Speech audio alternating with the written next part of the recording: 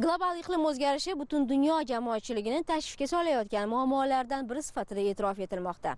Afsuski bunday holatlar sayyoramizning har bir chekkasida uchrab turibdi. Demak bu holatga qarshi kurashish siz biz barchamizning birdek mas'uliyatimizga kiradi. Zero ona tabiatni boricha kelgusi avlodga yetkazish ham har birimizdan katta mas'uliyat talab qiladi.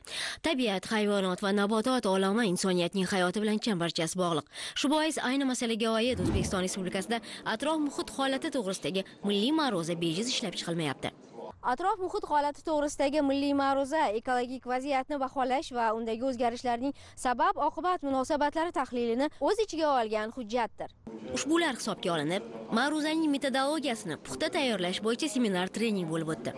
Seminar treningimiz birinchi navbatda milliy hisobotni tayyorlashga bag'ishlangan bo'lib bir nechta o'zida muhim e, jihatlari bilan ahamiyatlidir. O'zbekiston respublikasini oxirgi yillarida mana keskin holda tabiatdagi bo'layotgan o'zgarishlar ro'yobga chiqmoqda. Bu birinchi navbatda o'sha suv tanqisligi ob havoni zaharlanishi insonlarga ta'siri iqlim o'zgarishi va atrof muhitdagi bo'layotgan o'zgarishlar to'g'ridan to'g'ri bizni hayotimizga kirib keldi.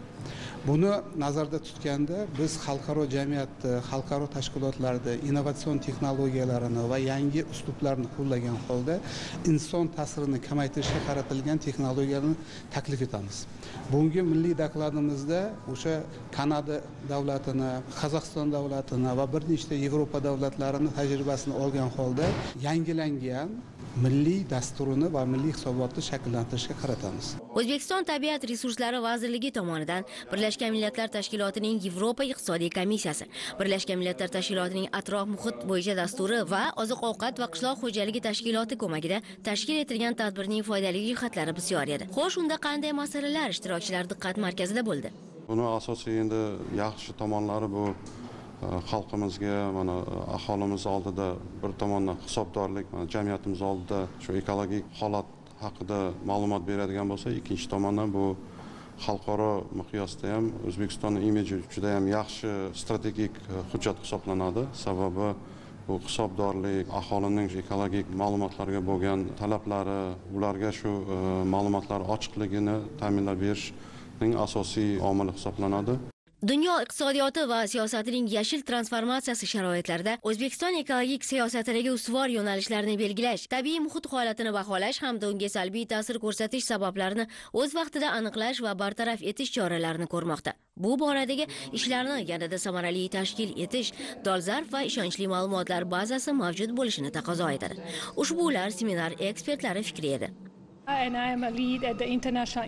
Men barqaror rivojlanish xalqaro institutining vakiliman. Bizning kompaniyamiz asosan ilmiy tadqiqotlar bilan shug'ullanadi va dunyoning ko'plab mamlakatlari bilan atrof muhitning bugungi holati bo'yicha hisobot tayyorlash bo'yicha ish olib boradi. Milliy ma'ruzada ekologik vaziyat nuqtai nazaridan yondashilgan.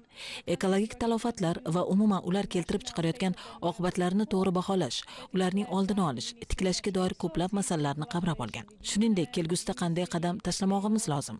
Zamonaviy va samarali choralar. Ayni vaqtdagi sharoitdan kelib chiqib yondashish usullari haqida so'z bordi. Maqsadimiz strategiya ishlab chiqish borasida hamkorlik qilishdan iborat.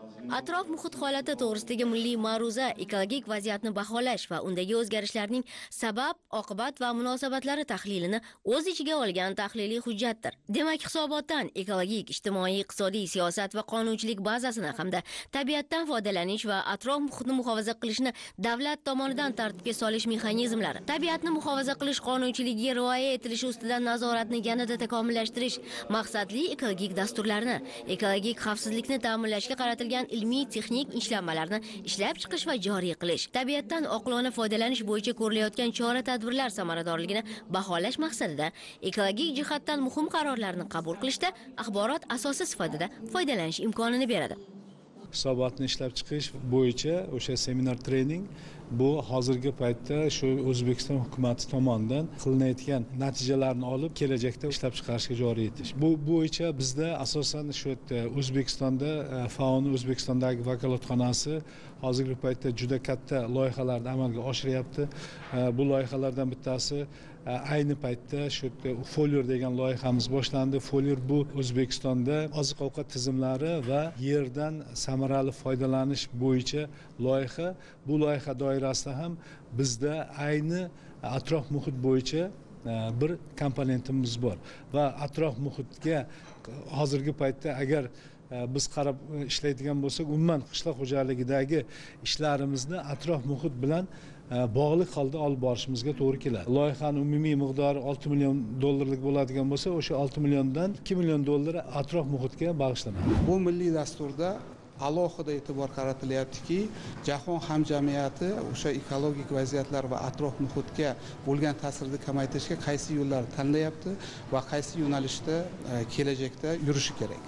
Va bugungi kundagi masalalardan bittasi o'zbekiston uchun e, chullanish chullanishga qarshi kurash masalalari va suv tanqisligini oldini olish masalalari bo'lib turadi. O'ylaymanki bugungi natijada seminar trening doirasidagi o'ttizdan ziyod ishtirok etayotgan vazirlik va idoralar o'zini yo'nalishini tanlab oladi va o'sha milliy dasturimizni shakllanishiga o'zini hissasini qo'shadi. Mazkur o'quv seminarida o'zbekiston respublikasining turli vazirlik va idoralardan o'ttizdan ortiq mutaxassislar ishtirok etib barqaror rivojlanish xalqaro institutining xalqaro eksperti liviya bizikova mazkur sxema bilan tanishdilar.